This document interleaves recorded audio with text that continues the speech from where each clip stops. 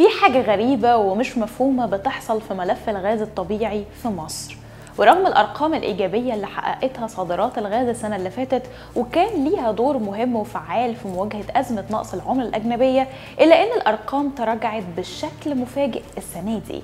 فيا ترى إيه اللي حصل في ملف الغاز؟ وهل أزمة الكهرباء وانقطاع التيار ليها علاقة بتراجع صادرات مصر؟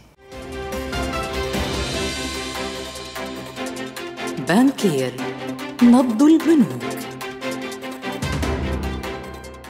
وفقا لآخر بيانات رسمية صدرت الشهر اللي فات تراجعت قيمة صادرات الغاز المصرية اللي بتشمل الغاز الطبيعي والغاز المسال للشهر الثالث على التوالي خلال إبريل 2023 ووفق نشرة التجارة الخارجية الصادرة عن الجهاز المركزي للتعبئة العامة والإحصاء انخفضت قيمة صادرات مصر من الغاز الطبيعي والمسال بنسبة 75.6% على أساس سنوي وحققت قيمة الصادرات الإجمالية ومن بينها صادرات الغاز 3.3 من 100 مليار دولار خلال إبريل 2023 في مقابل 5.5 مليار دولار خلال نفس الفترة من 2022 وساهم انخفاض قيمة صادرات الغاز المصرية في تراجع قيمة الصادرات الإجمالية للدولة بنسبة 44.9%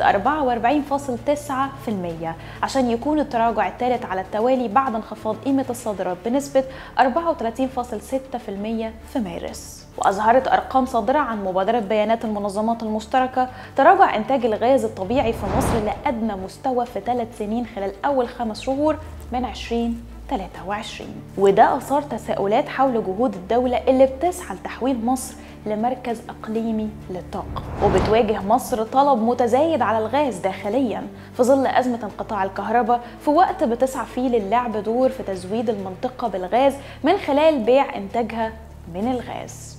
السوق المصرية تلقت دعم كبير بعد اكتشاف شركة إيني الإيطالية لحقل ظهر العملاق للغاز في عام 2015 وقالت الحكومة في الشهر اللي فات إن إنتاج حقل ظهر بلغ 2.3 مليار قدم مكعب يوميا انخفاضا من 2.7 مليار قدم مكعب يوميا في 2019 وقال محللون وعدد كبير من خبراء قطاع الغاز اللي أكدوا إن الإنتاج تراجع بسبب مشكلات بتتعلق بحقل ظهر واللي بتقدر احتياطاته من الغاز بنحو 30 تريليون قدم مكعب.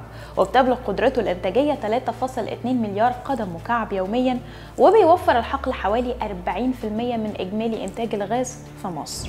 لكن الحكومة نفت الكلام ده وقالت إن مفيش أي مشاكل في حقل ظهر وإنه بيعمل بكامل طاقته الإنتاجية. وأعلنت الحكومة في يوليو تدشين برنامج بتصل قيمته ل 1.8 مليار دولار لحفر آبار للتنقيب عن الغاز الطبيعي في البحر المتوسط ودلتا النيل واستكشاف حقل نرجس البحري اللي بيتوقع وصول حجم احتياطاته لحوالي 2.5 تريليون قدم مكعب.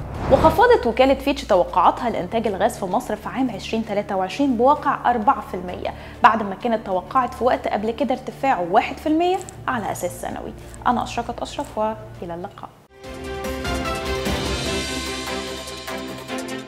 بانكير نبض البنوك.